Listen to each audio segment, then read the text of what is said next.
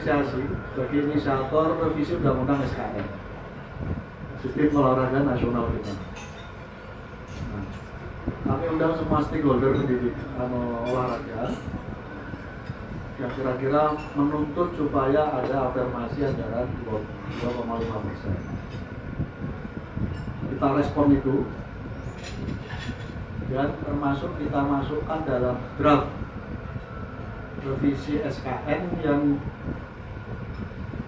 sudah kita masukkan ke balik, ke balik dan minggu ini sedang disinkronisasi oleh balik.